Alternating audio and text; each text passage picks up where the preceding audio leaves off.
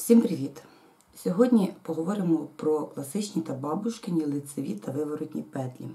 Якщо з бабушкиними е, виворотними і класичними виворотними все більш-менш зрозуміло, просто питання в тому, кому зручніше так, кому зручніше так, чи хто до чого звик, то саме в лицевих петельках іде плутанина.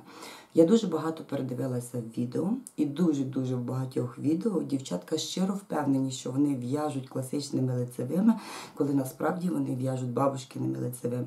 Дівчатка запутуються самі і запутують своїх глядачів, тих, які хочуть розібратися, якими ж насправді петельками дівчатка в'яжуть. Якщо коротко, немає абсолютно ніякого значення, за яку стінку, за яку ниточку, передню, задню, ліву, праву, ви берете свою петельку, захоплюєте, е, якою стіночкою вона повернута до вас. Е, від цього ніяк не залежить, чи ви в'яжете класичними, чи ви в'яжете бабушкиними петельками.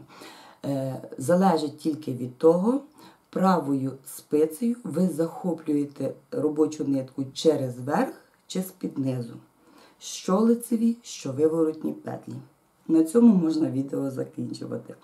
Але я зараз подетально покажу, як, в чому саме путанина і чому е, класичними називають бабушкині петлі, пояснюючи це, е, якою сіночкою вона ближче до вас знаходиться.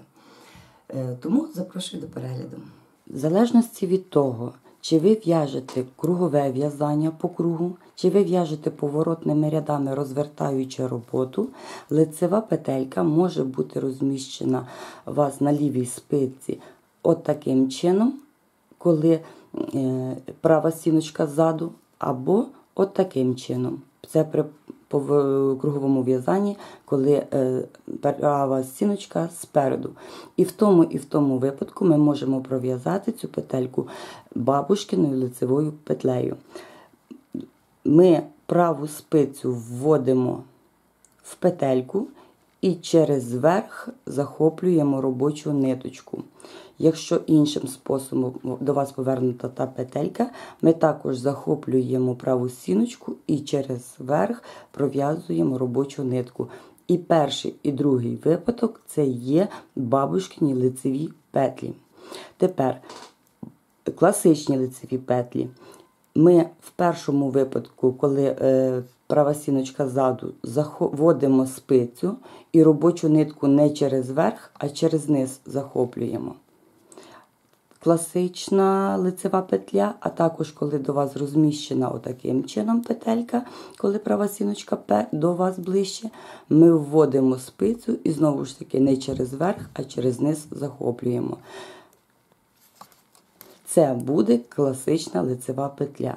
Тобто немає значення за якусь стіночку. Питання в тому, чи ви через верх це бабушкин спосіб, чи через низ це класичний спосіб. Виворотні петлі.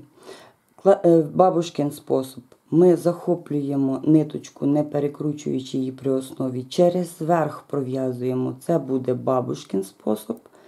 Ще раз, через верх пров'язуємо. Це буде бабушкин спосіб.